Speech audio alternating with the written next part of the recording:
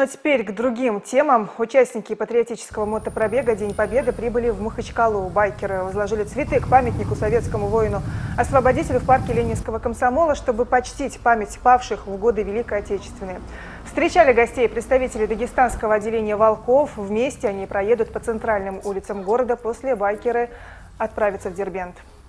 Идеей нашего маршрута мы идем, э, как в том году, дорогами Победы, э, поклониться нашим дедам, нашим прадедам, э, которые воевали на Кавказе.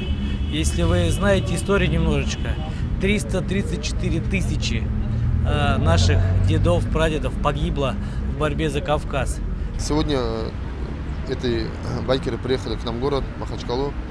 В связи с этим проводятся мероприятия, посвященные их приезду, и обеспечим безопасный проезд данной колонны по городу Махачкала. Нет, никаких абсолютно перекрытий не было.